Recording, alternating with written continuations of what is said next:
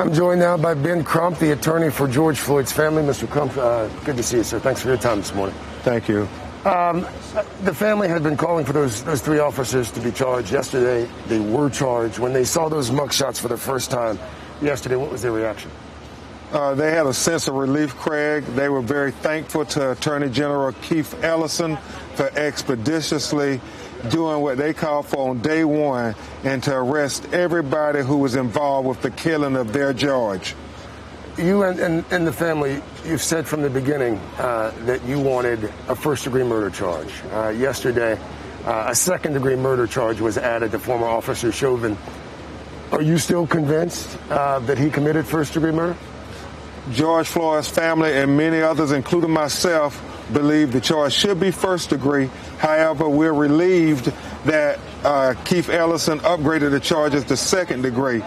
We believe that he had intent based on what we heard from the police body cam audio when the one officer said he has no post. Maybe we should turn him on his side. Officer Chauvin said no. We'll keep him in this position and stayed on his neck for three more minutes while he was unconscious. These protests uh, that we've seen play out in, in our country, around the world actually, but these massive protests here in the United States of America, do you think that we would see the charges that we saw against those officers uh, yesterday, and perhaps even the added second degree murder charge? Do you think we would have seen that without the protest? Do you, do you think that the protest led to the charges?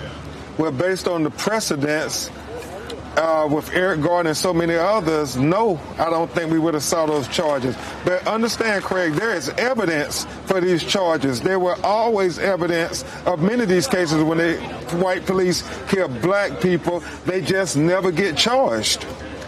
I, I, I, want to talk to you a little bit about the, the memorial today at, at 1 o'clock. Um, what more can you tell us about what that's going to look like? How is George Floyd going to be remembered there? Well, it's going to be a celebration of life, but it's also going to be a plea to America and a plea for justice that we don't let his death be in vain. We have a lot of uh, high profile people coming. We want everybody to use their voices, Craig, to say no more.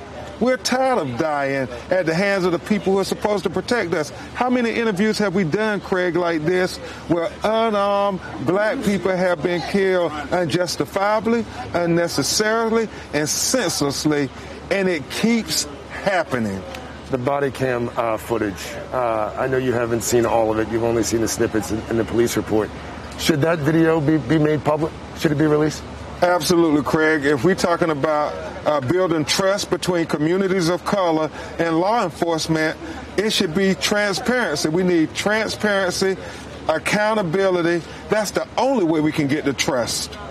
I, um, I read something yesterday, um, and I want to ask you about it because I believe it was one of George Floyd's brothers who said that he did not want he did not want George Floyd reduced to a T-shirt. He didn't want his his, his brother to be reduced to a, a logo. Mm-hmm. How's how is the family holding up in all of this? How are they doing? Very emotional. That was Philonise Floyd, who's going to speak at the memorial today, and he said, you know, he remembered his brother right here, watching a video for almost nine minutes. His brother saying, "I can't breathe," and he ends up calling for their mama. I mean, in a desperate plea before he dies. And so, what Philonise is saying to the world is we don't want this to be in vain. We want a conviction and we want systematic reform to prevent this from happening to other black people and other brothers and parents so their children can grow up with their fathers. Thank you, Ben. Thank you for your time. And uh, please pass along um, our regards to the family okay. today. I'll introduce you to them today. Thank you. Um, we want to mention, by the way, that NBC News will have live coverage of today's memorial uh, with Lester Holt, who's also here in Minneapolis tonight.